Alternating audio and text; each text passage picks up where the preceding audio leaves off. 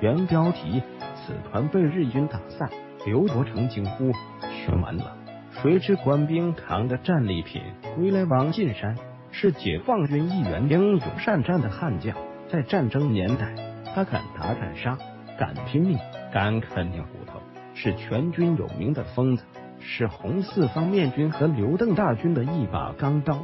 但是很多人不知道他带的部队有多强。王进山的部队有多强呢？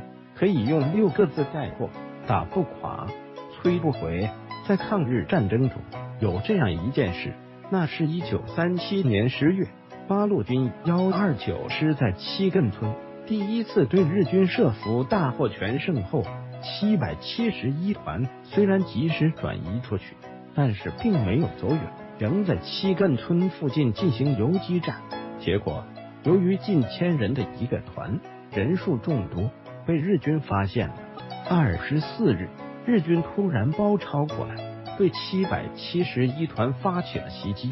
在强大的炮火配合下，日军仗着人多、武器好，又加上是突然袭击，一举就突破了七百七十一团的阵地。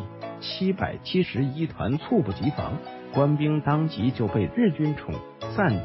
但是他们被冲散后，仍然快速的分成小股，各自为战。日军尽管拼命刺杀，始终打不到前面去。主力在山上只好不停的打炮。七百七十一团各营官兵人人能战，团部的参谋和通讯兵和后勤人员平时不是战斗员，被打散后竟然又快速的汇聚在一起。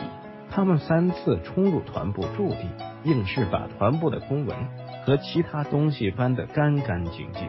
安全归队，在激战中，幺二九师参谋处长李达带了一个班去指挥收容队伍，结果在敌人的枪林弹雨下，他只收容到一个排，还差点被日军包围，只好率部与日军肉搏，将敌击退，杀了出去。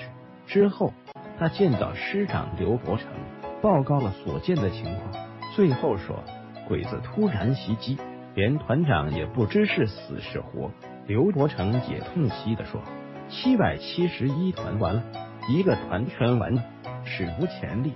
七百七十一团遭到日军袭击，全团覆没。这个消息震惊了八路军幺二九师，也震惊了八路军总部。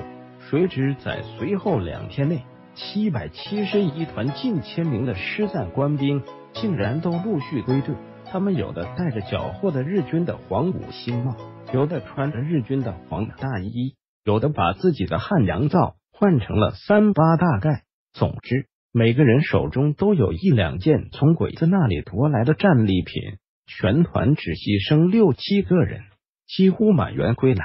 七百七十二团全团被打散后又归来，反而比以前更加威风。战利品在东野展出时。随军记者都拍了照，刘伯承欣喜地对副师长徐向前说：“你培养的部队是打不垮的。”徐向前哈哈大笑，这是由于王进山治军有方，部队训练有素，七百七十一团的战斗力很强。师长，你放心，可以使用。其实七百七十一团不过原来是王进山带的部队。此时，王进山为七百七十二团副团长，返回搜狐查看更多责任编辑。